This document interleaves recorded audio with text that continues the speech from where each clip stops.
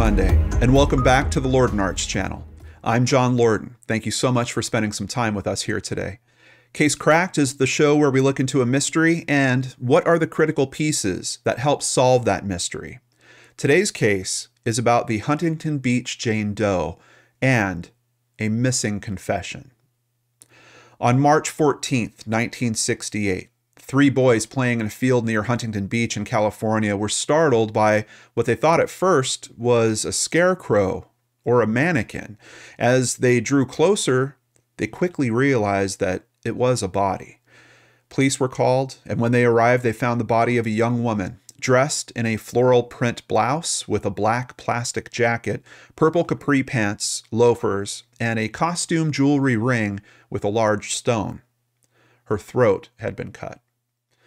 Huntington Beach investigators found little in the way of evidence, but from tire tracks they found, they theorized that she had been dumped from the passenger side of a vehicle into the field. Unfortunately, it had rained the night before, and the tracks were too degraded to help identify the vehicle. It also appeared her killer smoked a cigarette. The cigarette butt was bagged and stored. Jane Doe's bloody clothes were carefully examined and also stored as evidence. An autopsy would determine that she was in her 20s and that she had also been severely beaten. From the condition of her body, it was thought that she was killed just hours before she was found. Unfortunately, she had also been sexually assaulted. The medical examiner took samples for a sexual assault kit. Despite extensive interviews with people seen in the area, as well as businesses nearby, no one could be found to identify the woman. All the usual avenues were pursued. The press was brought in and composite sketches were distributed, but no one could tell them anything more about this Huntington Beach Jane Doe. Soon, there were no more tips to follow, no more avenues to pursue. Jane Doe would be buried in an unmarked grave in Newport Beach, and she would become known as Orange County's longest running Jane Doe case. Her file was taken out and reworked throughout the decades, different composites were drawn, but nothing new ever turned up, and both murderer and murdered remained unidentified. That was until DNA analysis became an integral part of police investigations. In 2001, DNA taken from the sexual assault kit and the victim's clothes was developed and defined a male DNA profile. Unfortunately, no immediate matches to the profile could be found. The DNA profile and Jane Doe's fingerprints and dental charts were also entered into the FBI's Combined DNA Index System, or CODIS. Still, no match was found. In 2010, the cigarette butt was tested and showed a male profile that matched the profile taken from the victim's clothes and sexual assault kit, but it still could not be matched to anyone in a known database it would take another 10 years of innovation for the tools needed to crack this case. Genetic genealogy was the next step in Jane Doe's investigation.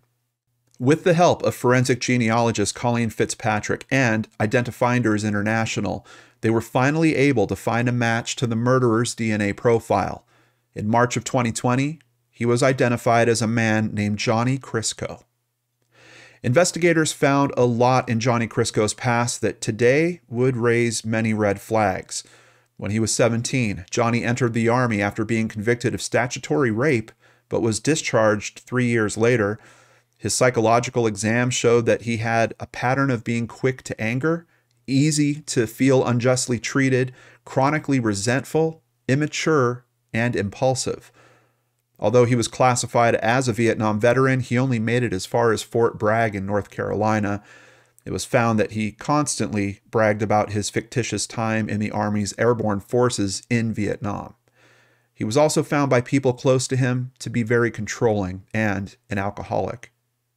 In 1972, Chrisco was involved in a drunk driving accident in the decades that followed, he worked as a car mechanic and bouncer before finding more stable work at a concrete plant as a maintenance worker. One of his ex wives stated that Chrisco was injured during a fire at the concrete plant when a piece of ceiling fell, cutting one of his eyes. In the ensuing doctor's examination, it was found that in his past, Chrisco had suffered a stroke or brain damage of some kind. She also stated that Chrisco had physically abused her during their time together and afterward, threatening to kill her, her children, and her family by mail bomb and then by setting their houses on fire. He moved up the West Coast and settled in Washington state, but investigators still had no idea how he knew their Jane Doe or who their Jane Doe was. Quote, We have no doubt that he was our guy, said David Deerking, an investigator from the Orange County District Attorney's Office. With the only avenue to find the truth seeming like a direct interrogation, the investigation hit a wall. Chrisco died of throat cancer back in 2015. After his death, his remains were left unclaimed by family, but he was eventually buried with veterans' honors at the Tahoma National Cemetery in Kent, Washington. Thankfully, in June of 2020, a DNA match was finally found for Jane Doe. After 52 years, her name was found to be Anita Louise Piteau, and she still had two living sisters, a brother, and many other relatives living on the East Coast. In 1968, Anita was 26 years old and one of seven children who grew up in Augusta, Maine. Her family stated that Anita had always been adventurous and longed to see other parts of the United States. She finally decided to explore the West Coast and Hollywood before returning to her hometown. In February of 1968, she had been gone about 11 months when her mother received a letter and a postcard from Anita. In them, she said that she had visited Hollywood and taken a tour of stars' homes. She also said that she had found work as a waitress and would be coming home in May. I'll see you then. Love you. Talk to you soon. And she was never heard from again. In the months that followed, her family knew something terrible had happened to her, or they would have heard from her. Since then, her family has always talked of Anita and what may have happened to her. Every time the phone rang at her grandmother's house, she would always say, I hope it's Anita. Finding out the truth and the brutality she suffered came as a shock to everyone. Her sisters, brother, and niece have looked for her through the years, but were unable financially to fly to the West Coast to investigate for themselves. Her niece, Lori Quirian, regularly called the American Red Cross, the U.S. Social Security Administration, and police in California, trying to find any trace of Anita. When news of investigators' discovery reached Anita's family, Quirian said that, quote, is it's amazing. It's a number of different things. I'm so glad that she's here and that we found her. It's a big weight lifted off. Sonny Martins was 10 years old when he and his friends found Anita. He said that he's relieved for her family, but is very disappointed that her killer cannot be brought to justice. We always kept tabs on them and were wondering, Martin said. It was always such a tragic thing, not knowing who it was. I'd really love to know what happened myself.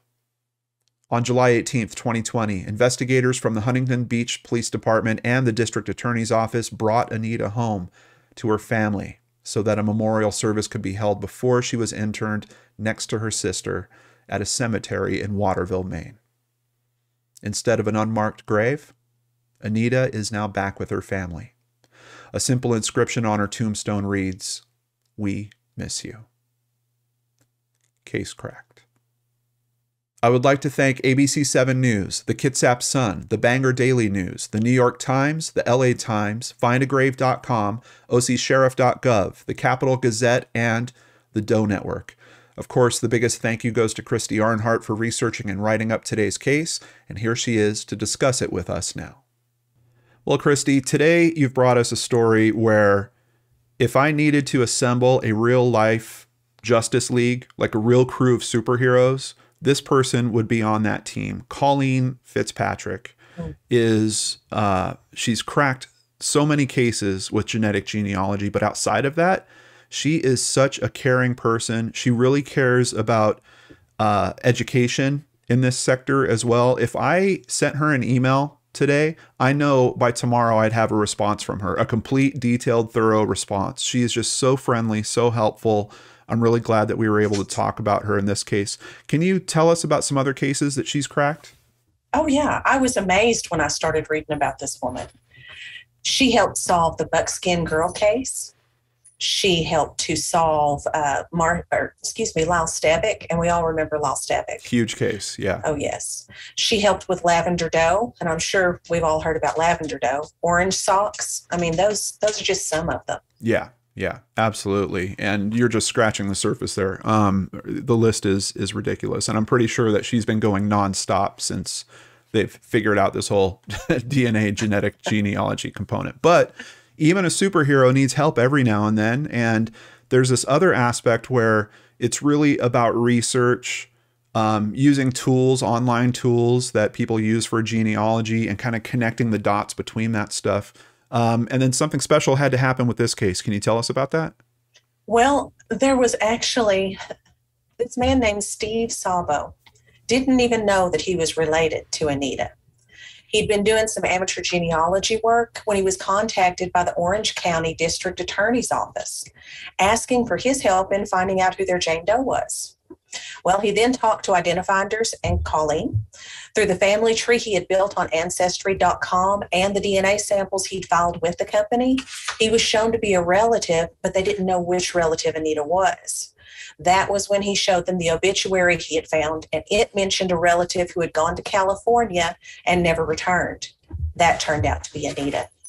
Colleen said if it hadn't been for his family detective work, it would have taken them much longer to find her. Think about that. That's that's like a needle in the haystack. In the basically. haystack. I Be- know. because it's an obituary for someone else in the family, and they just happen to mention that there's a family member that went off and disappeared, and he had that lightning bolt in his head to connect that piece with the information that they were looking for. Like, can you imagine? You've got law enforcement coming to you saying, "We think that you're related to this case in some way. Is there somewhere?"